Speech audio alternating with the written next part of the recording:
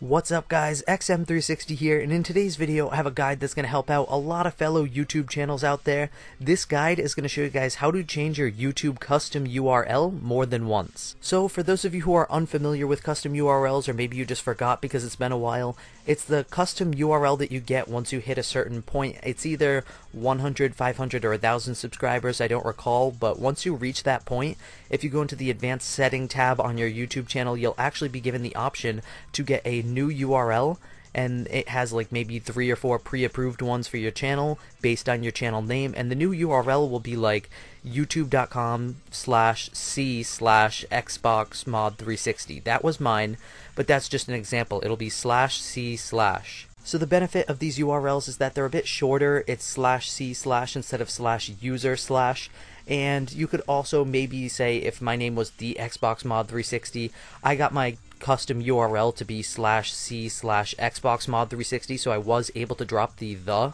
And another cool thing that I noticed about these that I'm showing you guys on the screen, once you get one of these custom URLs, you can even drop the C and the slash and it will still direct people to your page. So my URL was youtube.com slash C slash Xbox Mod 360.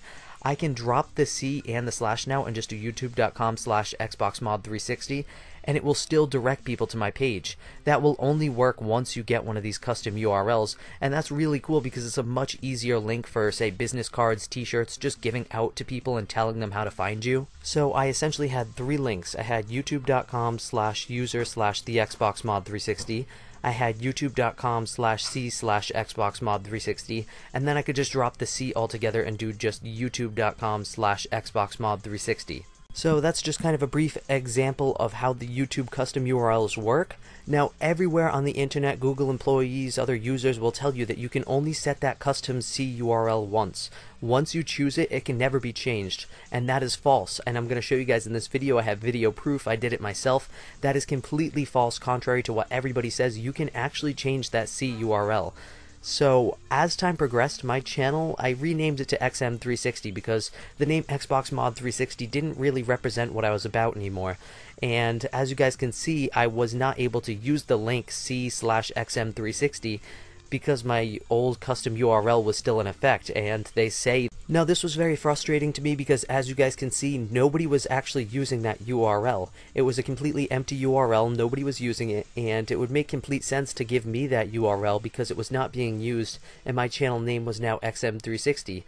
Now, I do realize that there could be abuse of this for people that constantly change their custom URLs and change their channel names, but I wasn't one of those people. I was just somebody like many other YouTubers who evolved over time, and I had adopted a new name because I was a new person, really. I was not doing the same content that I used to. So right here on this page, this is where you would normally see that little notification of the button that you can click to change your custom URL link and that is once you reach that milestone but like I said I've already reached that milestone and already set my custom URL once so I no longer have that link to click and there's no way for me to change it so I reached out to YouTube support via email and I explained the issue, telling them that I had evolved as a channel and my name was now different.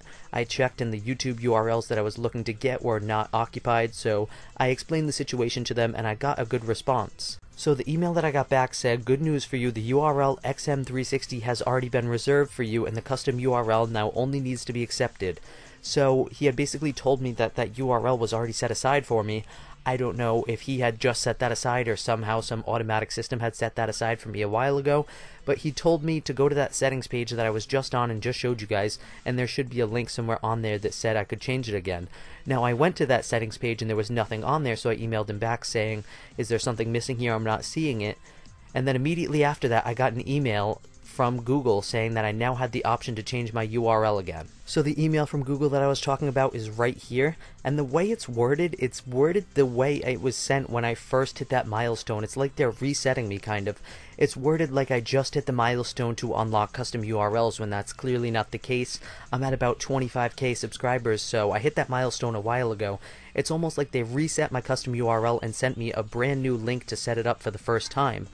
So I clicked that link, I went through with it, and I got the options now to set my custom URL as XM360 instead of Xbox Mod 360. So as you guys can see, this is saying it's going to change my Google Plus custom URL, but if I hit OK at the bottom on the next screen, it's telling me that this will also change my YouTube custom URL. It'll give me a new C slash XM360 URL, which is what I was going for. So I hit OK with that, and I was very pleased with that. I was extremely happy. I did not realize that it could be manually overrided like that, because I had no option to change that on my own. I had to email support, and they were able to give me a link to change my custom URL more than once, which is something that's not really supposed to be done but I did go up here and I tried to type that in right away, obviously, because I was very excited to try my new URL. It would be great to give people that new link that's much shorter and easier to remember. So the first thing I obviously did was I went and tried to type in that new URL. I was happy that I was going to be able to share this with people and give them an easier to remember URL, and I noticed it wasn't working, neither the C one nor the one without the C. So I didn't panic. I decided to give it 10 or 15 minutes. I figured it probably had to update on their end, and I was correct. After about 10 minutes, it did update, and I was now able to use these brand new custom URLs. So as you guys can see, I can now type in youtube.com slash c slash xm360 and it will take me right to my channel. I no longer have to give people the Xbox Mod 360 link because that doesn't really represent who I am anymore. And like I said earlier in the video, now that I got a new custom URL, I can now drop the C and the slash and just tell people youtube.com slash xm360 and it will go directly to my channel, which is a really nice link to be able to give people and it's very easy to remember. So I really just wanted to make this guide for you guys and I know this isn't 100% and it won't work for everybody, but I did just want to prove to you guys and show you my method that you guys are able to physically change your custom C slash URL more than once. So don't listen to them when they tell you that you can only change this once and it's permanent. Once you get that C URL, you're stuck with it forever because that's not the case. Google does have the ability to override it and give you a new custom URL. Feel free to cite this video and myself as an example if you're ever arguing with support and saying that it is possible when they're telling you that it's not. But don't try to abuse the system because they definitely won't give in if you're trying to change your custom URL like once every month. So I was very happy with the tech support experience I had with Google here on this one. I really hope some of you who may have evolved as a channel too and may have slightly different names or have changed your channel name, I hope some of you have some success too and I hope this guide really helped you guys out. So if you guys found this video helpful in any way at all, hit that like button down below. And if you're new to my channel, hit that subscribe button for more amazing content just like this. And as always guys, thank you for watching from XM360.